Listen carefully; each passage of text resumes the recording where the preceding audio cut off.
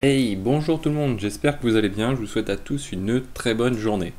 Donc pour commencer cette journée, je vous propose de découvrir un outil qui s'appelle TLDR et qui est assez pratique, qui rejoint une vidéo que j'ai déjà fait précédemment, une vidéo où euh, ben, on, a découvert un outil qui s'appelle DevDocs.io et puis euh, DevInts.io aussi, il y avait deux outils euh, qui, se rejoignent un petit peu, avec pour but de disposer de documentation simplifiée, partagée sur Internet ou autrement, parce que vous allez voir TLDR, c'est son intérêt, c'est aussi de vous les mettre à disposition sur votre laptop.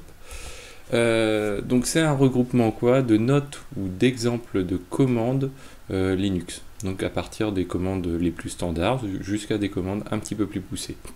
Euh, comment comment l'utiliser? Bah, On peut d'une part se rendre sur le site internet ici, donc qui est aussi responsive, donc du coup vous pouvez très facilement l'utiliser par, par mobile. Et vous voyez donc bon il n'y a, pas besoin de chercher beaucoup. il suffit de vous rendre ici command name.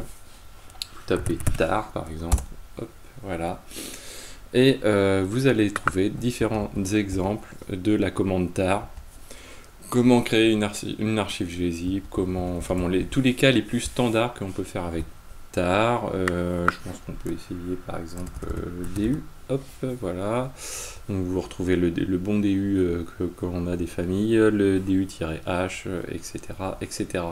Donc ça c'est assez sympathique. Après, à côté, vous voyez que c'est un projet GitHub. Donc, si vous cliquez dessus, hop, voilà, vous allez tomber sur, euh, je vous ferme celui-ci, sur la page GitHub du projet.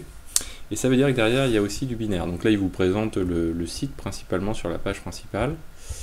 Et si vous cliquez ici, euh, TLDR Pages, hop, voilà, vous allez pouvoir trouver comment installer le binaire TLDR.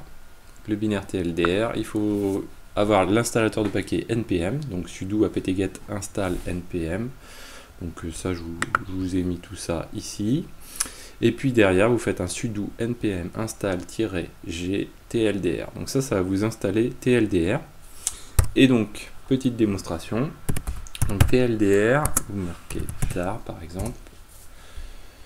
Et donc là, hop, voilà, vous vous retrouvez avec ce que vous propose le site, avec les différents éléments.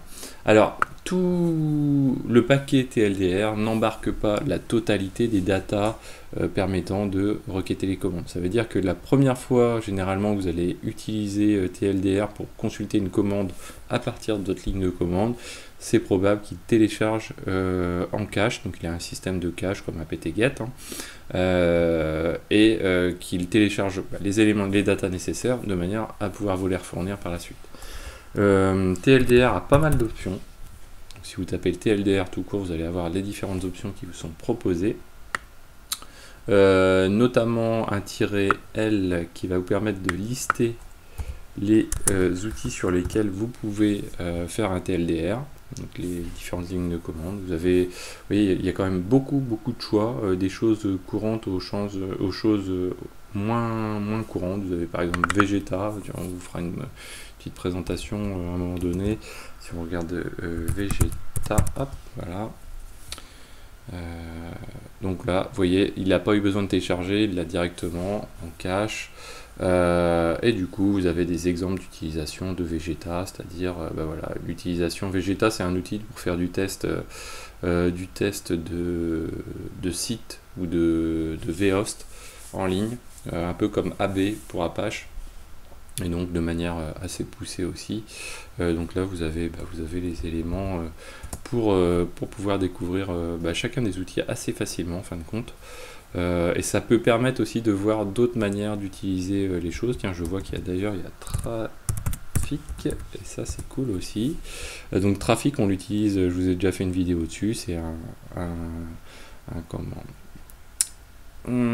proxy, un reverse proxy euh, comme Apache, Nginx, mais un reverse proxy moderne qui est surtout utilisé sur Docker. Euh, ben, on peut aussi l'utiliser, euh, donc ça j'en ai déjà fait l'expérience, on peut l'utiliser aussi hors Docker. En installant le binaire sur sa machine et voilà les commandes pour le lancer. Voilà donc j'espère que cette vidéo vous a plu, n'hésitez pas à mettre des pouces bleus, n'hésitez pas à la partager parce que je pense que c'est un outil qui mérite d'être connu. Et puis, bah, n'hésitez pas aussi à commenter pour m'indiquer bah, vous, vos outils ou vos commandes que vous utilisez régulièrement, euh, parce que bah, du coup, euh, ça peut être intéressant de les partager. Je ferai probablement une vidéo dessus. Si vous avez des commandes intéressantes, partagez-les.